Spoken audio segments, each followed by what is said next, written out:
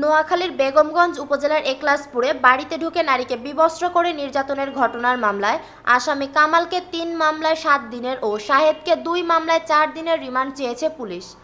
মামলার তদন্তকারী অফিসার বেগমগঞ্জ থানার এসআই মোস্তাক বিষয়টি নিশ্চিত করে বলেন, নোয়াখালী চিফ জুডিশিয়াল ম্যাজিস্ট্রেট আদালত বেগমগঞ্জ তিন নং আমলি আদালতের বিচারক মাশফিকুল হকের আদালতে তাদের তোলা হয়। এ নিয়ে এ মামলায় মোট দশ জনকে গ্রেপ্তার করা হয়েছে। এর আগে নির্যাতনের শিকার ওই নারী বাদী হয়ে চৌঠা সেপ্টেম্বর দুইটি মামলা করেন। পরে ছয় তারিখ রাতে দেলোয়ার ও কামালকে আসামি করে একটি ধর্ষণ মামলা দায়ের করেন বেগমগঞ্জ মডেল থানায়।